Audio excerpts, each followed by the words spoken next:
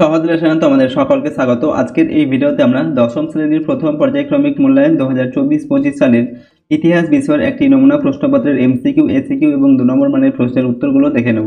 তো চলো আজকের এই ভিডিওতে আমরা ক্লাস টেনের ফার্স্ট ইউনিট টেস্ট দু হাজার চব্বিশ পঁচিশ সালের হিস্ট্রি সাবজেক্টের এই প্রশ্নপত্রের উত্তরগুলো দেখে নিই। তো প্রথম ইউনিট টেস্টে তোমাদের পূর্ণমান দেওয়া থাকবে চল্লিশ নম্বর এবং এক ঘণ্টা পনেরো মিনিট সময় দেওয়া থাকবে, ঠিক আছে? তো চলো এই ভিডিওতে আমরা ক্লাস টেনের ফার্স্ট ইউনিট টেস্টের হিস্ট্রি সাবজেক্টের এই প্রশ্ন এবং উত্তরগুলো দেখি ঠিক আছে, তার আগে চ্যানেলে যদি তোমরা নতুন হয়ে থাকো, অবশ্যই চ্যানেলটিকে সাবস্ক্রাইব করে রাখবে, সাথে বেল আইকনে প্রেস করে অল অপশানটি সিলেক্ট করে নেবে পরবর্তী ভিডিওগুলো পাওয়ার জন্য। এবং ভিডিওটিতে একটি লাইক করবে ভিডিওটি বন্ধু বান্ধবের সঙ্গে অবশ্যই শেয়ার করবে। এবং এই সমস্ত প্রশ্নোত্তরের পিডিএফ ফাইল পেতে চাইলে অবশ্যই তোমরা সহজ লেসন অ্যাপটিকে ফোন ইনস্টল করবে। সেখানে ভিডিওর পাশে পিডিএফগুলো দেওয়া থাকবে। চাইলে সেখান থেকে তোমরা প্রশ্ন এবং উত্তরগুলো পড়তে পারবে অথবা পিডিএফগুলো কিন্তু নিজেদের ফোনে ডাউনলোডও করে নিতে পারবে। ঠিক আছে? তো চলো, এই ভিডিওতে আমরা ক্লাস টেনের হিস্ট্রি সাবজেক্টের ফার্স্ট ইউনিট টেস্ট দু হাজার চব্বিশ পঁচিশ সালের এই মডেল কোশ্চেন পেপারটির উত্তরগুলো দেখি। দেখো, প্রথমে কি দেওয়া আছে? বিভাগ ক এবং এক নম্বর থেকে বলা হচ্ছে সঠিক উত্তরটি নির্বাচন করো। দশটা তোমাদের প্রশ্ন প্রথমে দেওয়া থাকবে, এক নম্বর করে মান দেওয়া থাকবে, ঠিক আছে? সঠিক উত্তর এখান থেকে বেছে নিয়ে লিখতে হবে। একের এক নম্বর জায়গায় দেখো, দেওয়া আছে, বামা বোধিনী পত্রিকার সম্পাদক ছিলেন, ঠিক আছে? অপশন কতে বলা হচ্ছে দ্বারকানাথ বিদ্যাভূষণ, অপশন খ উমেশচন্দ্র দত্ত, অপশন গ হচ্ছে কৃষ্ণচন্দ্র মজুমদার, এবং অপশন ঘয়ে দেওয়া আছে শিশির কুমার ঘোষ। তো বামা বোধিনী পত্রিকার সম্পাদক ছিলেন উমেশচন্দ্র দত্ত, অপশন খয়েরটা সঠিক উত্তর হবে। এরপর হচ্ছে একের দু নম্বর দাগে উনিশ শতকের বাংলার নবজাগরণের প্রাণ কেন্দ্র ছিল। অপশান ক, ফরিদপুর। অপশন খ হচ্ছে কলকাতা। অপশন গয়ে দেওয়া আছে মুর্শিদাবাদ এবং অপশন ঘয়ে দেওয়া আছে ঢাকা। তো উনিশ শতকের বাংলার নবজাগরণের প্রাণ কেন্দ্র ছিল কলকাতা। অপশন খয়েরটা এখানে সঠিক উত্তর। এরপরের প্রশ্ন, একের তিন নম্বর দাগে সাইলেন্ট স্প্রিং গ্রন্থটির রচয়িতা হলেন। অপশান ক, চার্লস টিলি অপশান খ, রিচার্ড গ্রোভ। অপশন গ ক্ল্যারেন্স গ্ল্যাকেন এবং অপশন ঘয়ে দেওয়া হচ্ছে র্যাচিল কার্সন। সাইলেন্ট স্প্রিং গ্রন্থটির রচয়িতা হচ্ছেন র্যাচিল কার্সন, ঠিক আছে? এরপর হচ্ছে একের চার নম্বর দাগে সাধারণ জনশিক্ষা কমিটি কমিটি গঠিত হয় আঠারোশো তেইশ খ্রিস্টাব্দে, অপশান খয়ে দেওয়া আছে আঠারোশো আঠারো খ্রিস্টাব্দে, অপশান গতে দেওয়া আছে আঠারোশো উনিশশো তেরো খ্রিস্টাব্দে, অপশান ঘয়ে দেওয়া আছে আঠারোশো তেত্রিশ খ্রিস্টাব্দে। তো সাধারণ জনশিক্ষা কমিটি গঠিত হয় কত খ্রিস্টাব্দে? আঠারোশো তেইশ খ্রিস্টাব্দে, ঠিক আছে? অপশান কয়েকটা। নেক্সট একের পাঁচ নম্বর দাগে দেখো, রয়েছে ভারতীয় উপমহাদেশের প্রথম মহিলা কলেজ হলো। অপশান ক, বেথুন কলেজ। অপশান খ হচ্ছে স্কটিশ চার্চ কলেজ। অপশান গয়ে দেওয়া আছে বিদ্যাসাগর কলেজ এবং অপশান ঘয়ে দেওয়া আছে হিন্দু কলেজ। তো ভারতীয় উপমহাদেশের প্রথম প্রতিমা প্রথম মহিলা কলেজ, ঠিক আছে? সেটা হচ্ছে বেথুন কলেজ, অপশান কয়েকটা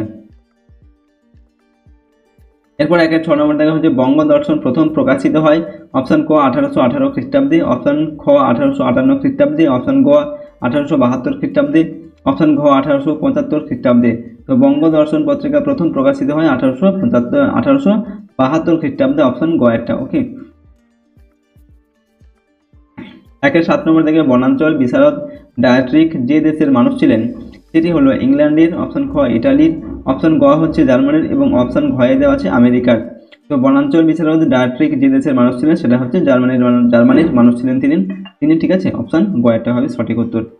পরের প্রশ্ন, একের আট নম্বর দাগে যেটা রয়েছে, বাংলার নানা সাহেব বলা হয় যাকে তিনি হলেন। অপশান ক, বিষ্ণুচরণ বিশ্বাস। অপশান খয়ে দেওয়া হচ্ছে রামরতন মল্লিক। অপশান গ হচ্ছে রফিক মণ্ডল। অপশান খ, দিগম্বর বিশ্বাস। ঠিক আছে, তো বাংলার নানা সাহেব কাকে বলা হয়? উত্তর হবে রামরতন মল্লিক কি অপশান খয়েরটা নেক্সট একের আট নম্বর হলো, একের ন নম্বর দাগে দেখুন চার উল হারব কথার অর্থ হলো অপশান ক, ইসলামের দেশ। অপশন খ হচ্ছে শত্রু দেশ। অপশন গ, বিপ্লবের দেশ। অপশন ঘ হচ্ছে মিত্র দেশ। তো দার উল হারব এই কথার অর্থ হচ্ছে শত্রু দেশ। ঠিক আছে? অপশান খয়েরটা এরপরে প্রশ্ন, একের দশ নম্বর দাগে। এখানে দেওয়া আছে চুয়ার বিদ্রোহ প্রথম শুরু হয়েছিল। অপশান কয়ে দেওয়া আছে রাঁচিতে। অপশান খ হচ্ছে সিংভূমে। অপশন গয়ে দেওয়া আছে ছোট নাগপুরে এবং অপশন ঘয়ে দেওয়া আছে ধলভূমি। তো চুয়ার বিদ্রোহ প্রথম শুরু হয়েছিল ধলভূমি। ঠিক আছে? অপশান ঘয়েরটা ওকে? তো একের দশ এক নম্বর থেকে তোমাদের দশটি প্রশ্ন দেওয়া থাকছে। ঠিক আছে? এমসিকিউ প্রশ্ন যেগুলো। এরপর প্রশ্ন দেখো বিভাগ খতে ঠিক আছে? বিভাগ খয়ে দু নম্বর থেকে বলা হচ্ছে, নিচের প্রশ্নগুলির নির্দেশ অনুযায়ী উত্তর দাও, এক ইন্টু ছয় সমান ছয়। প্রথমে দেওয়া আছে, উপবিভাগ উপবিভাগ দুইয়ের এক এক কথায় উত্তর দিতে হবে এগুলোর। ঠিক আছে? দুইয়ের একে দেওয়া আছে নতুন সামাজিক ইতিহাসের বিষয়বস্তু কি? উত্তর লিখবে, সমাজের সকল শ্রেণির মানুষের ইতিহাস, ঠিক আছে? সমাজের সকল শ্রেণির মানুষের ইতিহাস, এটাই হচ্ছে নতুন সামাজিক ইতিহাসের বিষয়বস্তু। এরপর নেক্সট হচ্ছে দুইয়ের দু নম্বর, দেবেন্দ্রনাথ ঠাকুর কাকে ব্রাহ্ম ব্রহ্মানন্দ উপাধি দেন।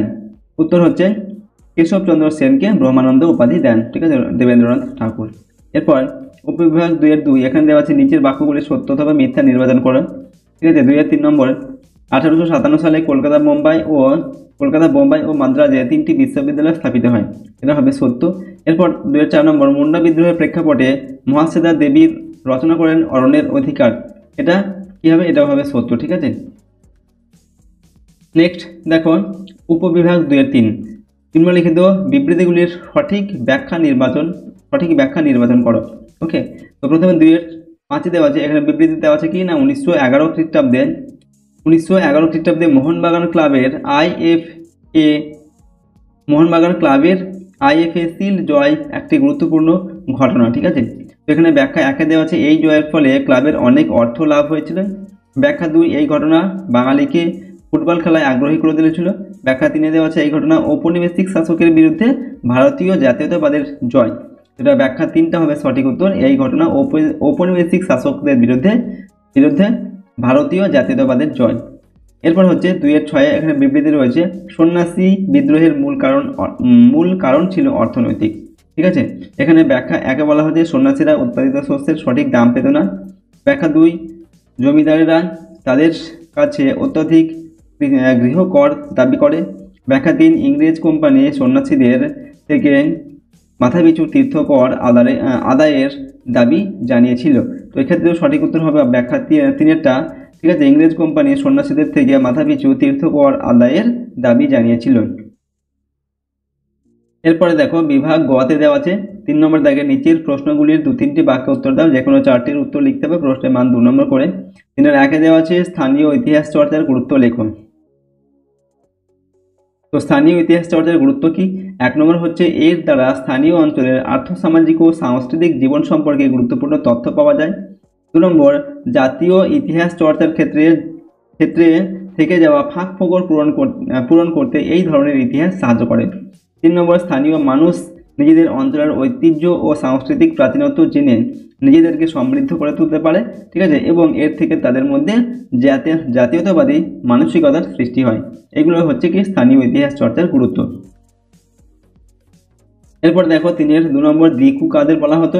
তথ্য লিখবে, দিকু শব্দটির সাঁওতালি দিকু শব্দটি হচ্ছে একটি সাঁওতালি শব্দ। এর অর্থ হচ্ছে প্রতারক, ঠিক আছে? সাঁওতাল আদিবাসী অধ্যুষিত এলাকায়, বিশেষত কোল ও সাঁওতাল এলাকায় ইংরেজদের আশ্রিত জমিদার জোতদার মহাজন ইত্যাদি মধ্য সত্যভোগী প্রবেশ করে আদিবাসীদের শোষণ ও নিপীড়ন চালাতো। ঠিক আছে, বহিরাগত এই মধ্য সত্যভোগী, মধ্য সত্যভোগীদের সাঁওতালরা দিকু বলতো, ঠিক আছে? তিনের তিন নম্বর, দেশপ্রেমের উন্মেষে নীলদর্পণ নাটকের কি ভূমিকা ছিল? তথ্য লিখবে, দেশপ্রেমের উন্মেষে নীলদর্পণ নাটকের ভূমিকা ছিল খুব গুরুত্বপূর্ণ। কারণ প্রথমত হচ্ছে নীলদর্পণ দীনবন্ধু মিত্র তার নীলদর্পণ নাটকে অনিচ্ছুক নীল চাষিদের উপর নীল নীলকরদের অত্যাচারের বাস্তব চিত্র তুলে ধরেছেন, ঠিক আছে? দ্বিতীয়ত হচ্ছে, প্রতিদিনের ঘটে যাওয়া নানা ঘটনা, চোখের জল ও মুখের হাসি তুলে ধরেছেন তার নাটকে। তৃতীয়ত নীল নীলকরদের বিরুদ্ধে গড়ে ওঠা গড়ে ওঠা আন্দোলনে রায়ত, সম্পন্ন কৃষক, মধ্যবিত্ত শ্রেণি একজোট হয়ে নীল চাষের বিরুদ্ধে যে প্রতিবাদ করেছিল, তা ধরা তা ধরা পড়ে এই নাটকে। ঠিক আছে? যা ভারতীয়দের দেশপ্রেমে উদ্বুদ্ধ করেছিল। এগুলো হচ্ছে কি? না দেশপ্রেমের নীলদর্পণ নাটক কি ভূমিকা নিয়েছিল, ঠিক আছে? দেশপ্রেমের উন্মেষে। এরপর দিনের চার নম্বর দেখা, কোল বিদ্রোহের কারণ লেখো। তোমরা লিখছি এখানে কোল বিদ্রোহের কারণগুলি হলো প্রথমত ছোটনাগপুর অঞ্চলে ইংরেজ ইস্ট ইন্ডিয়া কোম্পানি কর্তৃক কর্তৃক, ইংরেজ ইস্ট ইন্ডিয়া কোম্পানি কর্তৃক উচ্চ হারের রাজস্ব বৃদ্ধি, জমিদার মহাজন ব্যবসায়ীদের শোষণ ছিল কোল বিদ্রোহের মূল কারণ। তৃতীয়ত হচ্ছে, অন্য কারণগুলির মধ্যে উল্লেখযোগ্য ছিল দেশি মদের উপর কর বসানো, কোলদের ঐতিহ্য বা ঐতিহ্য বিরোধী আফিম চাষ বন্ধ করতে বাধ্য করা, বেগার খাটানো, নারীদের সম্মান হানি করা। তৃতীয়ত, এছাড়া বনজ সম্পদের উপর কোলদের আজন্ম অধিকার ব্রিটিশরা ছিনিয়ে নিয়ে, ছিনিয়ে নিলে কোলরা বিদ্রোহী হয়ে ওঠে। ঠিক আছে? এগুলো হচ্ছে কোল বিদ্রোহের কারণ। তিনের পাঁচ নম্বর গ্রাম বার্তা প্রকাশিকা পত্রিকার উদ্দেশ্য কী ছিল? তো হরিনাথ মজুমদার তার গ্রাম বার্তা প্রকাশিকা পত্রিকায় গ্রামের নিপীড়িত, অবহেলিত মানুষের কথা তুলে ধরেছিলেন। তিনি মনে করতেন, প্রজা স্বার্থ বিরোধী ঘটনাগুলিকে ব্রিটিশ সরকারের দৃষ্টিগোচরে আনতে পারলে তার প্রতিকার হতে পারে। এই উদ্দেশ্যকে সামনে রেখেই তিনি দীর্ঘ বাইশ বছর ধরে পত্রিকার পত্রিকার কাজ করে গেছেন। ঠিক আছে? এগুলো হচ্ছে তোমাদের দু নম্বর মানের প্রশ্ন। এখান থেকে চারটি প্রশ্নের উত্তর কিন্তু লিখতে বলা হচ্ছে।